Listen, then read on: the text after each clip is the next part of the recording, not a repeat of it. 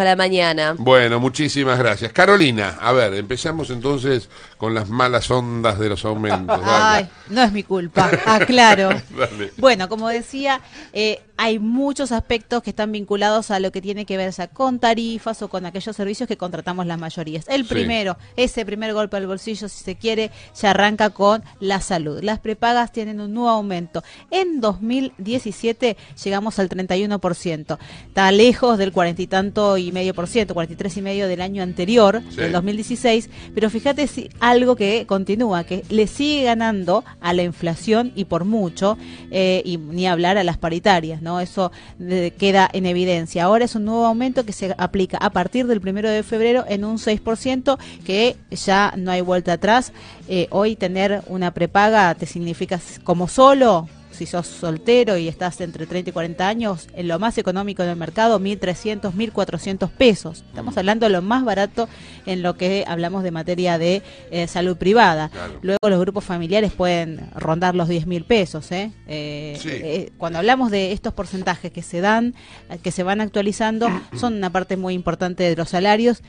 eh, en un año que ya se habla de que va a tener un techo de paritarias que puede rondar entre el 12 eh, y algunos decían el 10%. Ya salió Barrio Nuevo a decir que no debería haber techo para las paritarias cuando la inflación está asignada en un 15%, ¿no? Sí. Bueno, ahí estaba acá el título del cronista, ¿no? Dice que tras el cambio de metas, ahora esperan una inflación del 19%. Sí, y como sí. decías vos más temprano, que el dólar supere los 21 pesos. Estos son análisis privados. ¿eh? Totalmente, Pero, eh, por lo general, la expectativa del privado es lo que luego se traduce en, la realidad, ¿no? Sí, porque no se cumplió ni en el 2016 ni en el 2017 con las expectativas oficiales de inflación, siempre fueron superadas.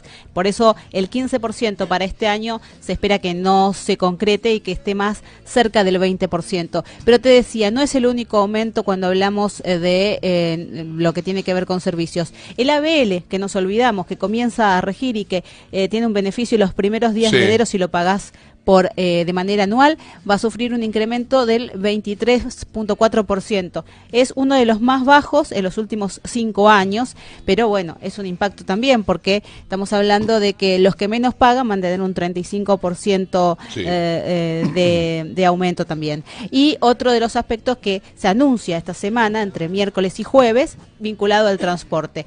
El pasaje de colectivo pasaría a pasar de 6 pesos el mínimo a 8.